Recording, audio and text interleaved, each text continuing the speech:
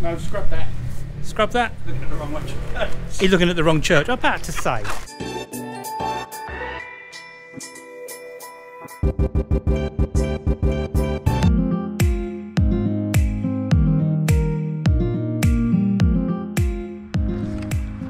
Okay, we just run across to look at St Luke's church. It looks very, very new. So I don't know if there's anything historically interesting. So I don't know anything about this church whatsoever. Yeah, it looks a very new church.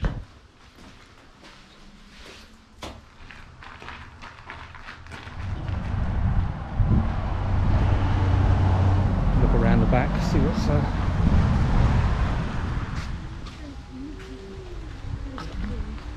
That's interesting. The grave, the graves are actually up the top there.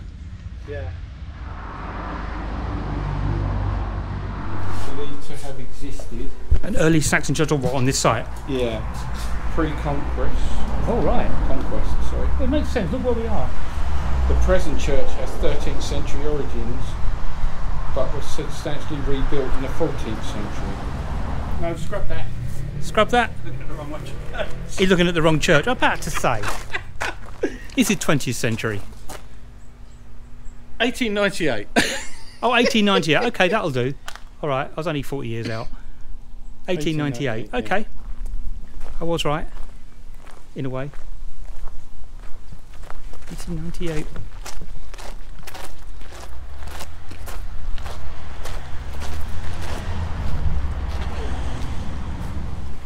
Hmm, Interesting. So, there's been a, there's been a, a a sacred site on here since 13.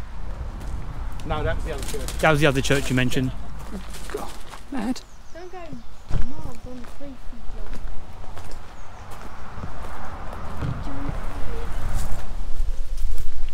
feed so, so there's nothing over here, but all the graves are up here. 1897 1897.